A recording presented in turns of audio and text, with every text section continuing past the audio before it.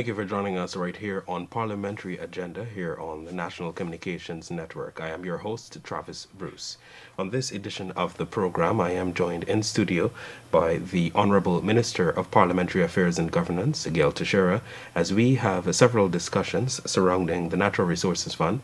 We will also be touching on several issues like the confirmation of those persons to the ERC Commission and also the Police Service Commission, among other topical issues which will be discussed at Monday's sitting of the National Assembly. Thank you so much for taking time out to be here, Minister Teixeira. Thank you for having me again. Right. I'd like us to begin uh, this edition of the program in talking or putting into context the events which unfolded at the December uh, 29 sit-in, that's last year, 2021, of what transpired about some of the disciplinary actions that might be coming out of uh, these actions. Uh, what can we expect to see, or how can we see this being treated? Well, the December 29th, um, for I think all of us uh, who had just entered Parliament and all of us who've been there for a very long time, that this was, I think it's the, the worst form of behavior I've ever seen in our parliament, and is considered gross, gross misconduct and gross uh, disorder, and so gross serious disorder, so that it has to the parliament has to determine whether it will allow this to go unpunished or and uh, what will it do about it? So January 24th is the first meeting since December 29th. I think the whole country, and it's probably on YouTube the issue of when the mace was seized by two members of parliament, Miss Annette Ferguson and Mr. Jordan, and also what we didn't see, which was the damage to the control room by another member of parliament, and also then the behavior in the House by the opposition members. So we have to we have a number of options open to us as we meaning we the national assembly according to standing orders. And so the speaker can call on a minister of government to call for the suspension of x number of members. The speaker can also be willing that the matter go to the privilege committee which he chairs and or the government in its own right could go to the speaker in the assembly and call for ex-members to go to the privilege committee. So there are a number of options. On Monday, one of those will definitely be invoked. I have no idea what the reaction would be. I would hope that uh, in the period between December 29th and January 24th that uh, good sense has prevailed and that uh, the MPs on the opposition side and the APNU AFC as a coalition, as a party, recognize that there have to be boundaries, there have to be limits, and that the behavior of the MPs was unacceptable. Now, of course, Mr. Harmon, as the head of the APNU AFC, in terms of the general secretary of that organization, as well as lead the opposition, supported it. And he, he supported after it happened. He wasn't there. Mr. Norton, who is the head of the PNC, also came out supporting it. So it'll be interesting to see what happens on Monday because it will be addressed at the meeting on January 24th. One of those options will be called into play, and that um, we hope that better sense prevails and that those who are in Parliament uh, particularly opposition members who were participating in all this, will recognize that um, this behavior cannot be allowed to continue. So that that's a big issue um, in the parliament, and the standing orders say that, that this issue of discipline or misconduct can be raised at any time under um, after the questions are put by the opposition members, their normal questions which are in order paper. I mean, the this could have happened on December 29th, where a motion could have been invoked to bring disciplinary uh, matters. But as you know, um, there was no way to even partially get your voice heard And so it could not be invoked. And, and you are allowed in Parliament when there's gross serious con- misconduct for the Speaker to call on a member, a minister, to get up and name the people, which means they could be disciplined at that very point, as well as the Speaker himself, as he did in the budget debate early in the year, we suspended a few MPs, one or two MPs, uh, for what was it, two sittings or two weeks or whatever it was. So there are powers that the Speaker has as well. Of course, that does not um, preclude any action that the police may or may not take in regards to what was damaged to public property. Mm-hmm. The mace is public property. The control room was public property. And of course, the assault on a member of staff. These are all issues to do, whether it's held, if it happens in the chambers or outside the chambers. Um, these are matters that I believe the police would have an interest in, and they will determine what action they can take against, against the perpetrators. As you know, one the staff member who was um, on the ground being kicked and called names by another MP, um, he has gone to the ERC, except the ERC, the secretary is there, but not the commission. So his matter is tabled, they can investigate, and hopefully, when a new commission comes in, that they will uh, take up the matter seriously. And so, in that regard, for the January, we have um, the issue of discipline, the issue of uh, three bills the tissue transplant, organ transplant, which is bringing us as a developing country into a whole new arena, area of, of medicine, which we've never been, or never dreamed we would have that uh, possibility to do. So the issue of transplant um, is uh, of human organs and also tissue are important areas of both in terms of uh, options for patients and also of research. And the issue of we don't have a culture here of don- organ donations mm-hmm. in the states they have. So obviously, this will also require us to develop a culture first of do we want to have a donor registry where, and that's what the law provides for, a registry where you can go and register, and if I die, I will donate my eyes, my heart, whatever it is, um, to someone who needs it, and to have a donor bank. So this is putting us into catapulting us into a hu- huge new area of medicine.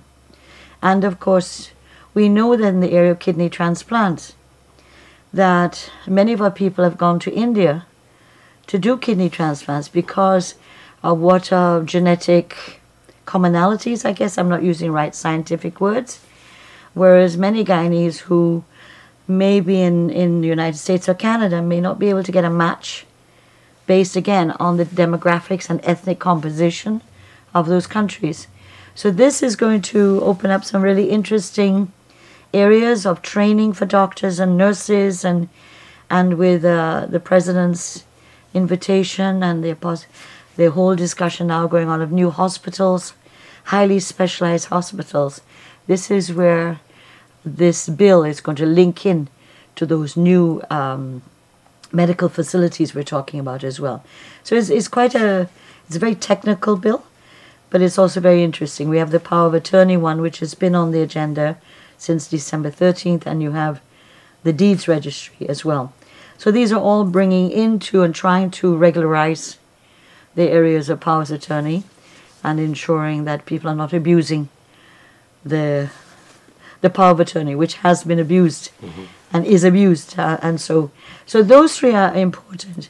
Then we have uh, Minister Ashni Singh.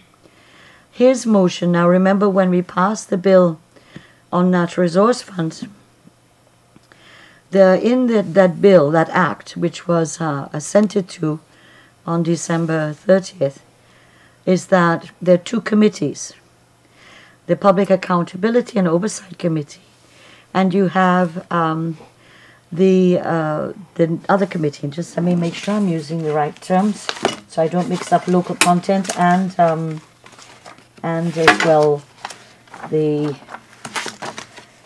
uh, the local content bill. Yeah. So we have the Public Accountability and Oversight Committee, Section 6, which has two represented private sector. Uh, we have a nominee of the National Assembly. We have three representatives of the religious community. We have two representatives of organizations of labor. And we have one, one representative of professions. So the what the bill didn't say, and when it was enacted, it didn't say how do we get this nominee. And before that, the the act also points out you can't sit on a committee if you're a political activist, you're a member of parliament, um, and so on. So it is trying to make sure in this committee there is a broad spectrum of representation of our society.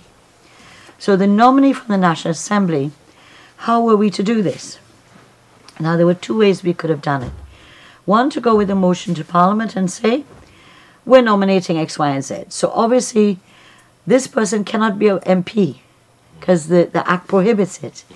So, in this section, so we could have gone that route and just put a name on the ground and at the House and vote, or, vote for it or against it. The other alternative is the Committee of Appointment, which deals with appointments of many um, commissions, constitution commissions, but also even uh, by the anti anti money laundering and countering the financing financing of terrorism act provides for the committee of appointment to appoint select and appoint the director of the financial intelligence unit the lawyer of that body and the accountant. So committee of appointments powers have expanded its mandate has expanded. So the second option was to go with a motion to parliament saying this matter should it led the committee of appointments select and bring back to the house a nominee. So we chose a second. So what minister Ashni is talking about is this section 6 so the other representatives who come from religious uh, private sector labor and professionals.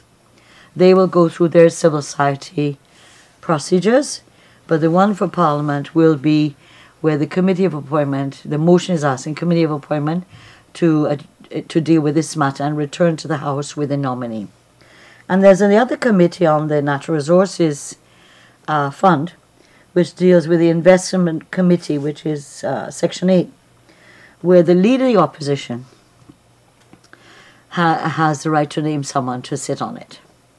Right? And then you have nominees from the pri- one nominee from the private sector, uh, the parliamentary opposition nominee, and then the three, the president uh, and the minister, have a say in appointing. so, so you have a in the natural resources two types of committees, and I don't. I think that um, some people seem to have a discomfort with the private sector. Um, I some people seem to be picking on the private sector for some strange reason because if it is the private sector they're accusing of being aligned, are you telling me the labor unions aren't aligned or aligned in different ways? Are the religious organizations unaligned? Are the professional bodies unaligned? Why is it only the private sector is being uh, targeted? And so I'm not going to defend the private sector, but there's an entity and a, and a community in Guyana as a sector. They have a right to have a say in the development of this country. And that's why the public oversight, this is what's called the Public Accountability and Oversight Committee. The private sector will have, as the parliament nominee, as the religious, etc., have a right to oversight the way in which the expenditures are being dealt with in relation to the revenue from oil. And the investment committee will be dealing with the actual investment and, and areas that the Act uh, defines. So I'm not, uh, I think that this has been an occasion where the private sector doesn't deserve these attacks. And the attempt to try to say, well, the private sector is aligned to the government. I don't remember these organizations saying anything like this when the private sector may have been aligned to Burnham years ago, or to even in the last five years to Mr. Granger. There were those attacks too. There were the issues of which way was the private sector going. The private sector has a right as a community to decide what is in their best interest as a community. And therefore, if they like a particular government's programs and policies or laws, they have a right to say that. If they don't, then they have a right to say that too. In 2015, the private sector didn't have any problems with Granger. But when the taxes hit people in 2016 and 2017 and they were being hurt, they then felt, how can we survive? And so they responded. And they went in 2018 calling for the restoration of the of the um, VAT exemptions, etc., which had been there before under our government. Suddenly, at that point, they became not as friendly to the then government as they were before. The fact the private sector has said to the government, we like these policies, there's some areas we need you to do more, and they will ask for more, doesn't mean they're going to get it. But the private sector has a right as, an, as a sector to be dynamic. If we want to have a transformative society, we need the private sector to be a dynamic partner in all of this. We would like the others to be the religious organizations, the labor, the professional bodies, and that's why they're included in the in the act as participants, as partners. So I, I think a lot of I think that there are those in our society who want to intimidate people by targeting them. You know, we, we don't have to always agree with our partners, but we have a responsibility to build our nation, even when we agree to disagree. And, and that is, I think, the thrust of what the Natural Resources Fund Act is about, and how we can involve other people, include other people. Minister Teixeira, you mentioned a point there that I just wanted you to expand a little bit more on, uh, having the private sector, the labor unions, etc., Yeah. forming part of the NRF and Yes. assisting in greater accountability and Yes. transparency. How deliberate was it to have these varying organizations represented to ensure for this transparency? Uh, We have gone on record before the elections in our manifesto after the elections. The president's mantra is inclusivity, participation, transparency, accountability, and rule of law. Those words constantly appearing in every single speech the president makes. We are committed in finding a modus operandi in our country, a modus vivendi in our country that allows us to work on common interests and to yet retain our individuality, to retain our, our what our positions are, without feeling that, you know, um, if you support the PVPC government, you're now a traitor, you're a psychopath. This is we can't get anywhere if that's the view, but that's how people are being intimidated by the opposition, and this is not good for our country. This will not move us forward, and unfortunately um, that there are persons who were silent for five years. They were silent during the elections. They were silent during the recount. Now they've got a lot of spunk, and it's under the freedom of the PPP. We are the ones that are, we are the ones upholding your right to your freedom of expression. Now, of course, under the Constitution, you can have the freedom of expression, but you can't vilify vilify other people. You know, so and that's the constitution of our country. So the the private sector I don't think should be worried about the kind of uh, things you hear in the press, etc., and just get on with being a fully prepared entity sector that under the local content has a lot of work to do. They have to bring themselves up in terms of their capacity building. This is a brand new area of oil oil industry. And so they have a the private sector has an enormous opportunity, but enormous responsibilities and enormous work to bring our capabilities up as a country with trained people, skilled people, the right skill sets, so we can fully benefit from all of this. And I think my my impression is that the private sector is anxious to do do this, and so why should we in any way try to second guess them and, and make them less less an important partner as as they are? Hmm. You know. Thanks for that, Minister. Uh, I would like us to shift gears a bit and talk a little bit about uh, PPC, Public Procurement Commission. Yes. I know um, on our last conversation, we were talking a little bit about how these persons will be selected. And even before, we saw in the media space that some names were presented, uh, nominations of five individuals. Can you tell us now what is the next step? We have the names of the persons, but what happens? Uh, will this be addressed also at Monday's sitting of the National Assembly? Well, let me just uh, answer the last part first, and that is that um, the PPC made a big uh, PAC made a big headway this week, and we're supposed to meet Monday to go through the draft, the motion, etc. So that won't be on the agenda uh, this Monday. However, um, if you'd asked me that question on Monday when we finish at four o'clock, I would have said to you, I can't give you that information. But by five o'clock it was out, so I can answer you now. Um, and just like when we met before, Yes. you know, uh, the names were already out, although we had a pact that uh, this was confidential, we wouldn't say anything. So the PAC, this was the same thing. We're not going to say anything outside. Within half an hour, everything is in the media. So I am now, I'm not uh, compelled to be quiet. But what is interesting, and I thought it would be interesting, the three members from the government, um, there is no change in that. The the two members from the APNU AFC went through some shifts. And so, um, based on, I assume, their internal dialogue and issues as a coalition, um, that the name was Mr. Lucas was changed. They said he withdrew. I haven't seen the letter of resignation, but um, but they have put the AFC representative, which I, I believe is Diana Rajkumar. So it is Mr. Wickham for APNU and uh, Miss Rajkumar, I believe it is, for the coalition.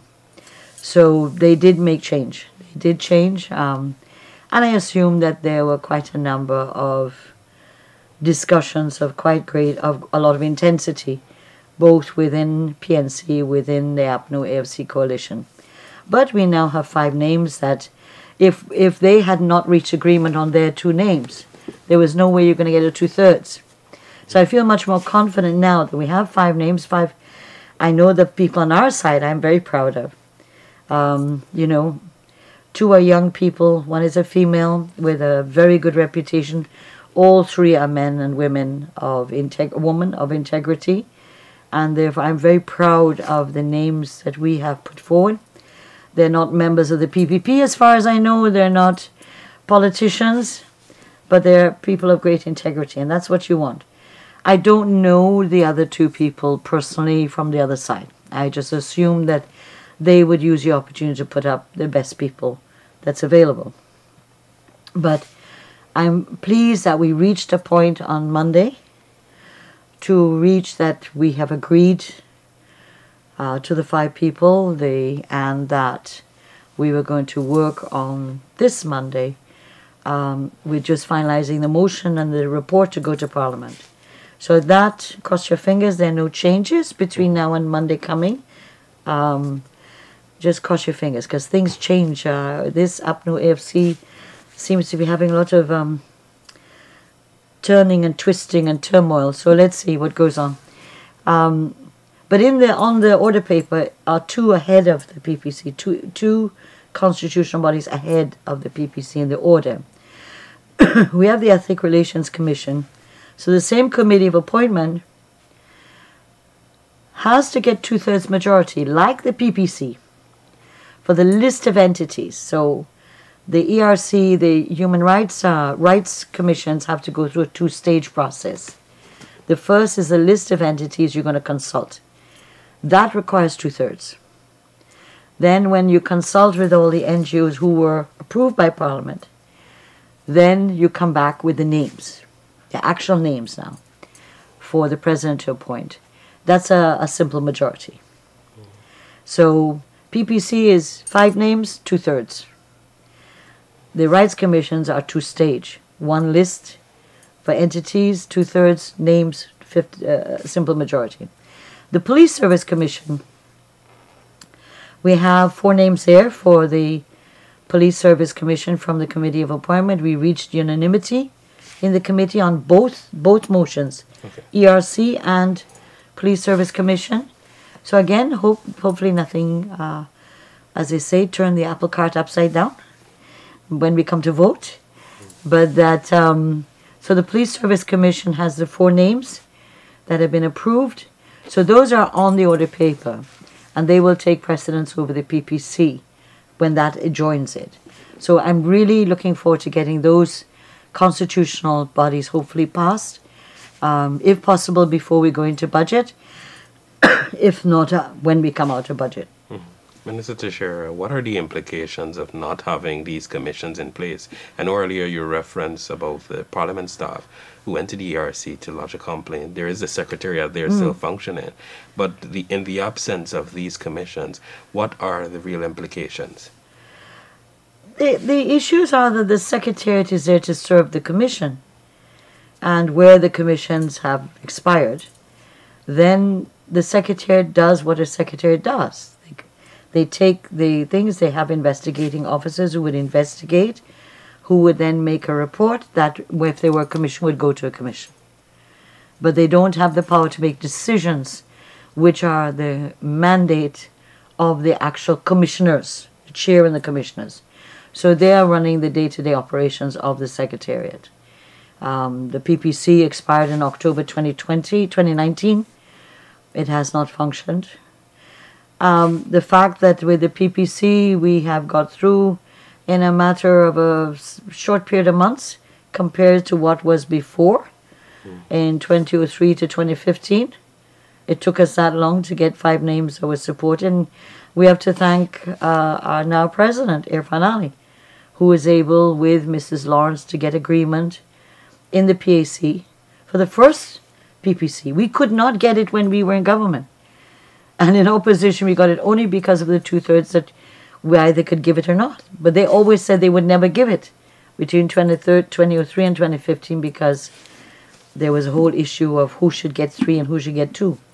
So we have carried out now that they've set the tradition by adopting it when they were in government. It now it's very hard to reverse that that three two arrangement which mm. was there. The PPC though by law what happens it does not the president of the PPC now is not really one that is I think that uh, some people are saying that certain things couldn't happen and didn't happen because there's no commission. Yes, it's true. With the ERC, there are the issues of ethnic discrimination or claims of it. Um, but the process takes time. And that the parliamentarians are not full time. We don't have um, um, members of parliament who are full time. All the MPs are part time, every one of them and so that that has its own uh, delays but also too we have to reach consensus and there's greater pressure to reach the two-thirds so you take greater time if it's a simple majority worse yet in the committee and you know you have a majority and you have in the committee a majority and you go to the house you can take the risk of doing that but in committees that require two-thirds there is something about talking about trust and confidence and building agreement. Because I've had the experience with the ERC in 2003. We, we struggled and we struggled and we finally got agreement in the committee, unanimity in the committee in, in 2003 2004. The motion was put to the House. Everyone's getting ready to debate. It's on the order paper. And the chief whip for the other opposition, PNC, comes to me and says, We need this to be changed. And I said, I can't. This came from the committee. How do we change this? This is a committee recommendation. Um, and they said, I said, all your members agreed to this. They agreed to the drafting of the motion, the report. No, no, no, we're not going to give you the two thirds. So we tried behind the scenes during the debate to get agreement. That failed. And so in 2018, with the IPC, the Indigenous Peoples Commission, that committee, same committee headed by Dr. George Norton, had brought the motion to Parliament. we had not been attending because of the appointment of Mr. Patterson unilaterally by Mr. Granger as the chairman of GECOM. And so they brought this motion where they reduced the number of Amerindians in the, the Indigenous Peoples Commission. And we said, we're not going to support this. You can't have seven Amerindians on, on the Indigenous Peoples Commission. You reduce it to five. This is not going to be acceptable. You can't do it. And so Dr. George Norton at that point, we hadn't reached the debate yet. It was on the order paper. And he, he agreed. He uh, agreed to withdraw, to, to pause it, sorry. So when we ended in um, 2019, it remained on the order paper untouched because that's a two thirds. So in committees where you require two thirds vote, you have to tread carefully and to build trust and consensus. You can't bully your way in there. Mm. And and people I think have to understand that we are look at the behavior in Parliament December 29. Do you think it's easy? it's an easy job to get consensus or unanimity so that you have some some assurance, not a hundred percent, that when you go on the floor, you're going to get your two thirds. You know, so I mean, the, people have to understand this is politics, and we're dealing with human characters, but we're dealing with political parties, and in in particular one that is having a lot of trouble. APNU AFC as a coalition, as distinct from the PNC, um, has has some issues, as we just saw with the PPC. We had to change a name. For our position was, look, 3-2, you're the opposition, you come with a consensus between you on who you want. We will not interfere with that, except if it's a person who has been charged and before the courts for some something. We will have nothing to say against your two, right? But they had to make a change, whatever was the internal dynamics that went on. And so I think when, when I listen, I read some of the things that people say in the media, I in, in my kindest moment, I think that they're doing it out of ignorance. They don't know about how Parliament operates or some of the laws they're talking about or the standing orders. And in other cases, people just have agendas of their own. You know, but I try to, and I, I hope by this program we can try to inform people about Parliament and the importance of it. There are many more bills coming, by the way, mm-hmm. um, that the public may be interested in. Um, we have, I think, almost finished uh, finalizing the condominium bill, which is an important bill to do with the condominiums that uh, are going to be built but were built under the former government, and people can't get loans from the banks because there's no nothing in our laws that allow for that. Hmm. So we had to come with a new law to do with condominiums so that people who who did buy into those condominiums that or what they call them townhouses that were built under the former government, so they can access banking, insurance, and stuff like that. but also in terms of investments that are waiting but cannot do that because there's no legal framework for condominiums in Guyana. There's a Combating of Trafficking in Persons Act, which has been waiting to be sent in we have a number of rectifications to do with a number of the bills were passed before. Um, you know that the hire purchase bill, which went to a select committee, they should start meeting back soon. And then um, Minister Nandlall called a meeting yesterday of the narcotics special select committee, which is doing with increasing the amounts that you could have on you for personal use. And so to try to reduce the number of persons being sent to prison for having a very small quantity on them. Mm-hmm. And so th- those bills are important.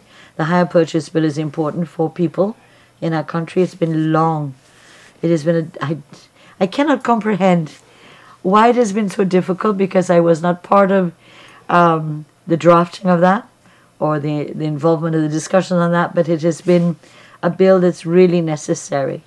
It has been desired for a long time and I'm glad we we will that is before select committee, and I think that the public and others need to look at it so that um, they will know what their rights are, because it will give them certain protections that they right now don't have. Uh, we have other bills that, um, the Bail Act, for example, I'm sure Minister Nandlall has spoken about some of these things.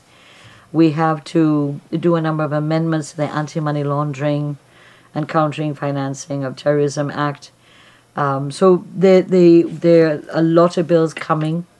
We will have during the budget, once the budget starts, and Minister of Finance reads the budget, we will then go into debate. So that's there's no other business when the budget starts. Debate starts. So you have five days of debate.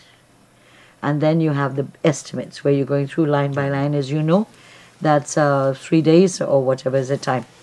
So until that's finished and the bill, uh, the appropriation bill passes for the budget, then you wouldn't be dealing with some of these other matters until you finish that. So when a budget is going on, that takes precedence over everything else. Yeah. So we're hoping that the this the sitting on Monday will get through these issues out of the way, and hopefully we can reach the the the constitutional bodies. If not, it will roll over to the next sitting. Yeah. Thank you so much for that, Minister. uh, of course, you're coming down to program time. Uh, Yes, I You know. reference uh, some of these things that we can expect or citizens can Yes. look forward to in terms of bills. But uh, specifically, your plan for the year, the government's plan for the year regarding parliamentary affairs and governance. Can you give us some insight into that? What can Guyanese expect? What can we be comforted in? Or, our expectations for 2022 as we close out this program? As I said before, we're not the sexy ministry that gets to open bridges and open roads and open houses and open schools, health centers. Unfortunately, we deal with uh, software, backdoor, back back street software kind of thing. So if I can get the government business on the floor in a timely and efficient manner and to move the bills we need to get through, get the government business through the parliament, then that is our job. To make sure that as smoothly as possible, that we can get the government bills through, the motions through, the committees are functioning, our part people are participating in the committees, etc. In the governance areas, of course, there are many areas both at the international level with our treaty responsibilities, as well as stakeholder issues. And so, a number of the areas of stakeholder participation, particularly when we're going to be dealing with uh, some of the more controversial bills that come up, as well as uh, electoral reform and later on constitutional reform. But we are going to be having in our own ministry a number of training programs to do with the human rights conventions, which we signed, and we continue training on the anti corruption uh, conventions and procedures, and to uh, get the various um, agencies in the government sector to be properly trained and cognizant of what the responsibilities are and um, what the laws provide for. So they are areas that, uh, even in terms of strengthening some of our, you know, stores rules and other rules that need to be upgraded.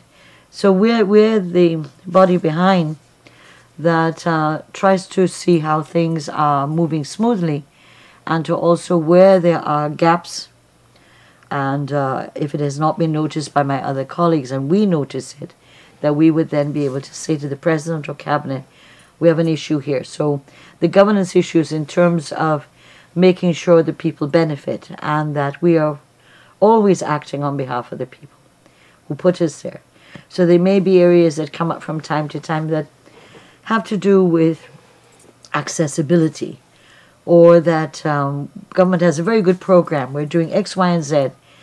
But somehow people in this area are not hearing, hearing about it. They don't know about it. They don't know what to do. So those are those softer areas of governance that we get involved with. Okay. And sometimes I may be seen to be putting my finger in too many pots that don't belong to me. Thank you so much, Minister Teixeira, for taking time out to be here, uh, putting into context what we can expect at the 35th sitting of the National Assembly. Yeah. They're happening on Monday, the 24th of January right. there in the Dome of the Arthur Chung Conference Center. So thanks for being here. I hope you'll be there. Yes, I will. and thank okay, you. Thank you very to much. To you, our listeners and viewers of this thank program you. of Parliamentary Agenda. I'm Travis Bruce. Thank you for joining us.